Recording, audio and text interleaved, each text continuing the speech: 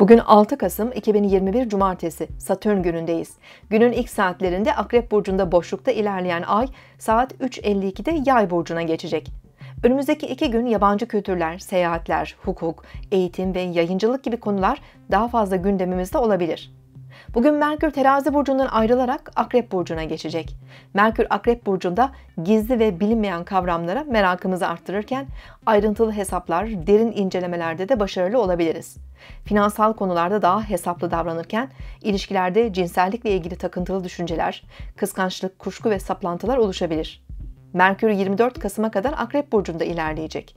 Bugün Merkür ve Oğlak Burcu'ndaki Venüs arasında etkili olacak uyumlu görünüm, ilişkilerimizde daha verimli iletişim kurmamıza, duygu ve düşüncelerimizi ifade etmemize yardım edebilir. Öğle saatlerinde ise Yay burcundaki Ay ile Kova burcundaki Satürn arasında etkileşen olumlu açı, duygusal dengemizi ve disiplinimizi arttırarak bize destek olabilir. Günlük işlerde planlı ve pratik hareket edebiliriz. Deneyimli kişilerden aldığımız tavsiye ve destekleri kullanma fırsatlarımız olabilir. Bireysel özgürlükler öne çıkarken yeni deneyimlere heyecan ve cesaretle yaklaşabiliriz. Gezi ve seyahatler, açık havada zaman geçirmek, spor yapmak için de uygun bir gündeyiz.